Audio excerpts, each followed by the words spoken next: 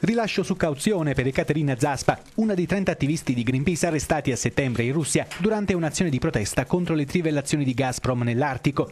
La cittadina russa, medico di bordo dell'Arctic Sun, potrà uscire di prigione dopo il versamento di 2 milioni di rubli, circa 45 mila euro, ha stabilito il Tribunale di San Pietroburgo, che ha invece ordinato per l'australiano Colin Russell altri tre mesi di carcere.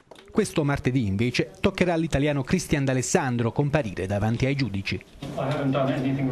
Non ho fatto nulla di male, ha detto Colin Russell in aula. Non capisco le ragioni per cui sono detenuto.